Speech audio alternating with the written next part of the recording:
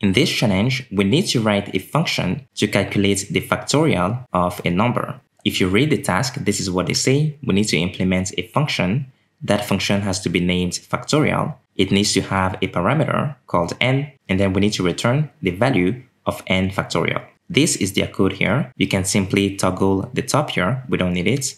If you read the implementation of their main function, they get some inputs for a numerical value and they store it in the constants n, and then they pass n to factorial, which is the function that we need to define. So this is how you can define a factorial function. The traditional way in JavaScript is to have the function keyword followed by the identifier for your function, which is the name of the function, then parentheses, and in between parentheses, you have your parameters.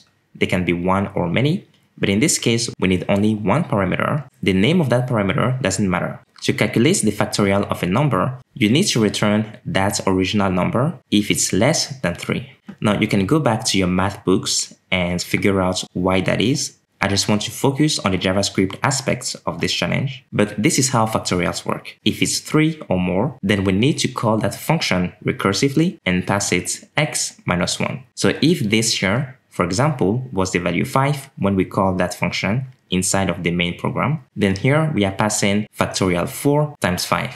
And then at the next call, we'll pass factorial 3 times 4. But remember, once again, as we said, once the value of the parameter is less than 3, we simply return that number. This has to do with recursion. I'm not going to dive too deep into that, but just keep in mind that that is how you define a function in JavaScript. There are other ways like arrow functions, which you are more likely to see nowadays, but this is a good way to learn since it's the traditional methods. Let's run this code now.